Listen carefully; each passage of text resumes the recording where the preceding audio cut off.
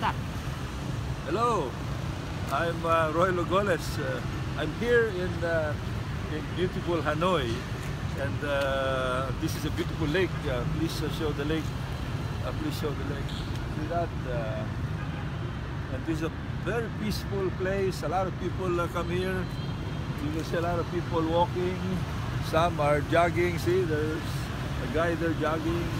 Some are resting, uh, sitting down on the benches. And I'm here on the invitation of uh, the Center for uh, Strategic Studies on International Development. And also I'm being assisted by the Ministry of Foreign Affairs of uh, Vietnam.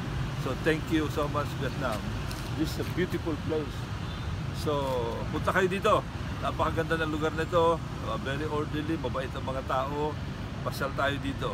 And uh, you know, we always look at Vietnam as a place where they have discipline, they work hard, uh, they have uh, passed uh, so many challenges, and uh, now they're doing very well. Their economy is uh, very vibrant, very strong, and you should visit the airport. Their airport is so beautiful, so sparkling, clean systems working, and I think our airport managers uh, in Manila should come visit so that they can check how to manage the airport very well. So thank you, thank you very much, thank you.